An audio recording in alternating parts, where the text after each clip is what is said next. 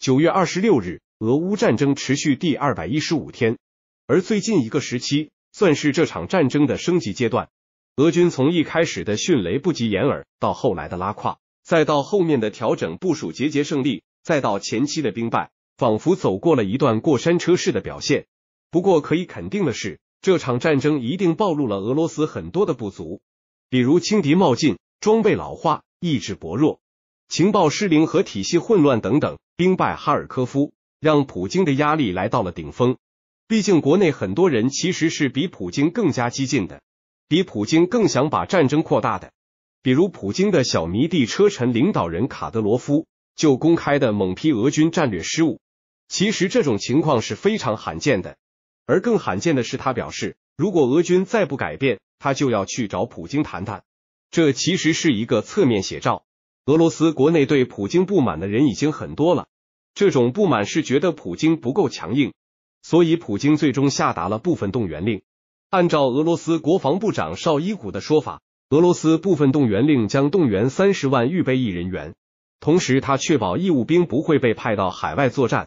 如果说在动员令发布之前，普京是小看了乌克兰人保家卫国的意志，也轻视了美西方参与这场冲突的深度与广度。那么，在兵败哈尔科夫之后，普京真的做到了抛弃幻想，立刻打仗。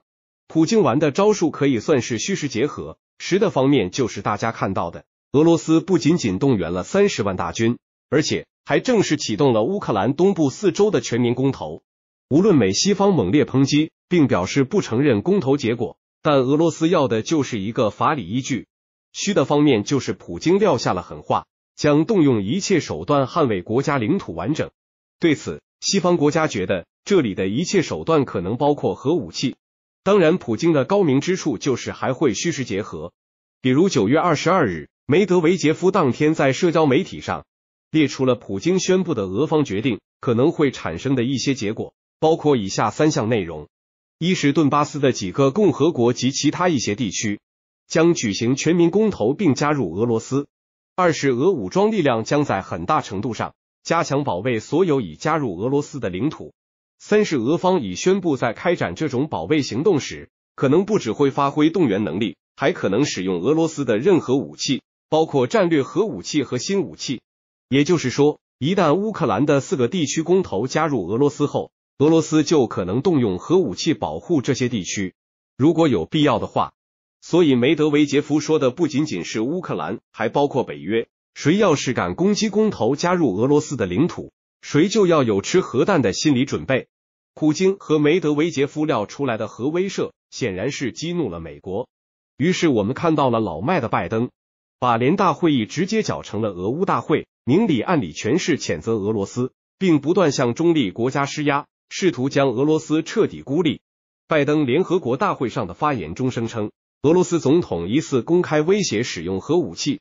此举表明莫斯科在蔑视核不扩散机制。对于拜登的说辞，我们认为俄罗斯外交部发言人扎哈罗娃说的非常对。至于美国总统的发言，我认为从一开始就完全不体面，意思就是美国你太不要脸了。要知道，如今全球核不扩散体系之所以变得如此脆弱，最为主要的原因还是美国。最近几年，美西方的核双标像一根针。扎在全球核不扩散的努力之上，形成一个个漏洞。美国就这个操行，还好意思说人家俄罗斯，真的是不要脸。当然，围绕接下来的行动，各方骂也骂了，喷也喷了，该主张的也都表达了。接下来就看俄罗斯军队在战场上新的表现了。之前乌克兰八月底大反攻，捷报连连，经美今日京乌欢声一片。按照乌克兰官方的说法。在前期的反攻中夺回来六千平方公里的土地，一两个城市以及上百个居民点。在大反攻中，乌军占领了奥斯科尔河西岸的库皮扬斯克、伊久姆等城市，俄军撤到奥斯科尔河布防。随后二十日，消息显示，乌克兰突破了奥斯科尔河防线，开始攻击卢甘斯克。令人无法容忍的是，俄军在撤退过程中竟然把最新。极其机密的突破坦克丢弃在路上，完好无损的落入了乌克兰军队手中。美国对俄罗斯这款最新型坦克非常感兴趣，随即要求乌克兰将坦克给他们进行研究。诡异的是，俄军依然重点进攻顿涅茨克州，位于北顿涅茨河右岸的阿尔乔莫夫斯克市，对乌军的进攻没有做出直接回应。俄乌战争爆发后，西方媒体一直造谣炒作俄军损失惨重的话题。对此，俄罗斯终于公开回应。九月二十一日，俄罗斯防长绍伊古称，俄军在俄对乌特别军事行动中损失了五千九百三十七人。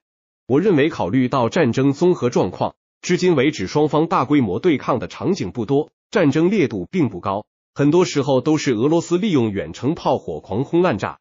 乌克兰军队缺乏大面积打击俄军的能力，因此俄罗斯公布的这个数字应该靠谱。战争前期战况比较惨烈，俄乌双方战死比是一比十，每十个乌军士兵换取了一个俄军士兵的生命。大毛二毛同根同源，一直是一家人，同室操戈是非常令人遗憾的一个局面。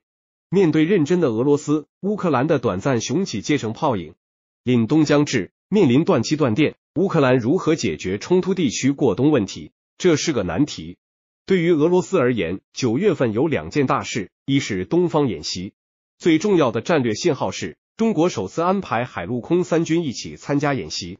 在俄乌冲突的背景下，中俄背靠背的关系再次得到强化。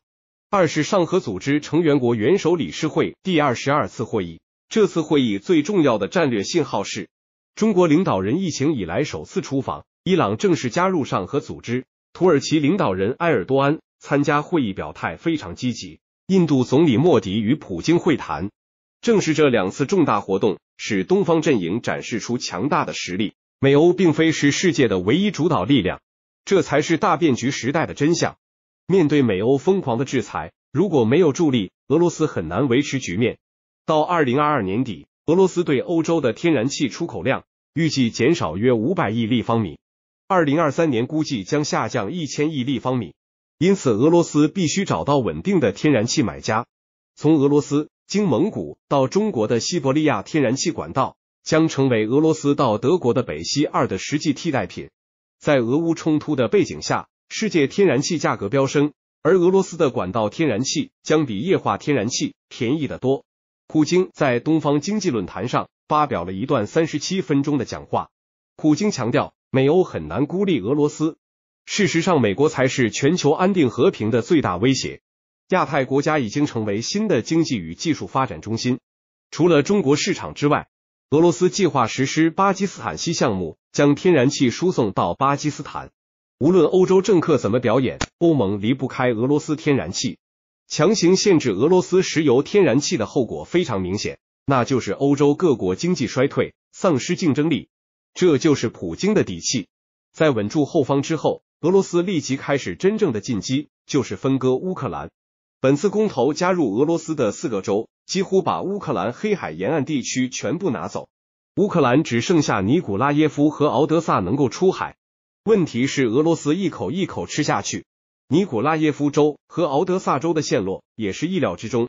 现阶段失掉四个州只是阶段性损失，未来丢掉整个黑海沿岸。甚至第聂伯河以东地区全部并入俄罗斯也不能排除，乌克兰的命运可想而知。